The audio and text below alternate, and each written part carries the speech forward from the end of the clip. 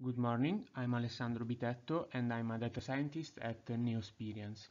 Today I'm going to present our work on uh, detection of cardiac akinesis in echocardiograms. Our analysis focused on the detection of alterations in the movement of the heart muscle and we were interested in a binary classification between akinetic and normokinetic. Cardiac akinesia refers to the absence of deformation of the myocardium and is visible as a lack of myocardial thickening. This condition is attributable to a very large number of pathologies. One of these, the myocarditis, has been described as a possible complication of the infection caused by the SARS-CoV-19 and is cap capable of worsening the prognosis of the patient.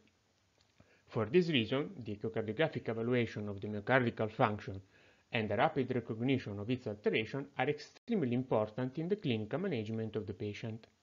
The dataset was provided by an Italian hospital, Luigi Sacco in Milan, and was composed by almost 700 echocardiograms. Each echocardiogram is composed by a different number of frames, ranging from 23 up to 291, so we selected a minimum number of frames to be kept, set to 50, for being able to capture at least one full cardiac cycle. For each observation, we add the label akinetic or normokinetic, that is the target of our analysis, for a total of 200 akinetic and 480 normokinetic. We created an heuristic algorithm to automatically remove additional information that were hard printed on each frame and to keep only the area that changes over time.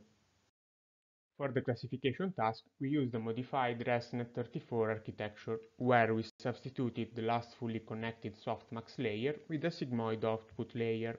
We also decided to input the frames of each clip as a separate channel of a single image, so we changed the standard 3-channel input layer with a 50-channel one, taking only the first 50 frames available.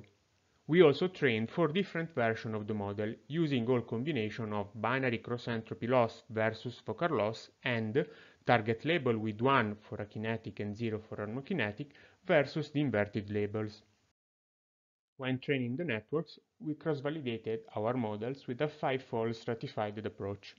We, the predicted probabilities of each validation fold were also used to feed the second-level learner, with four inputs from each model version resulting in a stacking of models.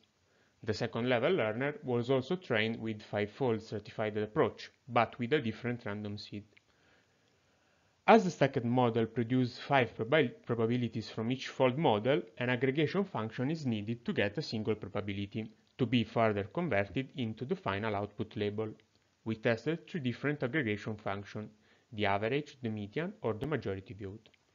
At the end, the threshold to assign 0 or 1 has been selected by testing different values, from 0 to 1 by a 0.01 step, for all folds and maximizing the resulting average F1 score. Among the four versions of the model we trained, the one with the binary cross-entropy and no inverted class performed best with a cross-validated F1 score of almost 88%. For the second level learner, we tested different classifiers, all tuned with the five-fold stratified cross-validation, with the average validation F1 score as a performance metric. The gradient boosting machine performed best, leading to an increase of the, of the performances of almost 4%. Finally, we visualized the activation function of the last convolution layer before the fully connected one by the mean of heat maps in order to identify which part of the image of the network was focusing on. We used an approach similar to the GradCam. There is a clear distinction between the two classes and, moreover, the network is focusing on meaningful part of the images. Thanks for the attention.